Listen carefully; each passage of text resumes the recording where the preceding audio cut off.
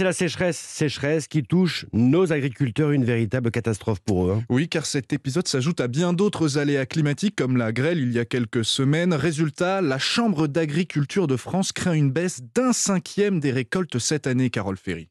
Il y a déjà la sécheresse qui sévit depuis la mi-avril. Il y a eu ensuite la grêle qui a endommagé une partie des cultures au début du mois de juin.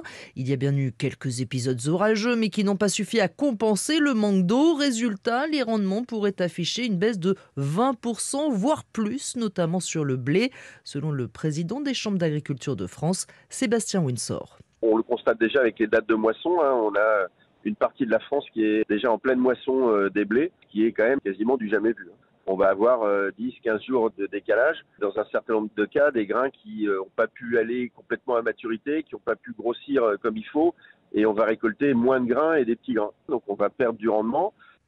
Et spécificité cette année, toutes les régions de France sont concernées, y compris le Nord. Les fruits risquent de particulièrement souffrir également dans la Drôme et dans la région Provence-Alpes-Côte d'Azur.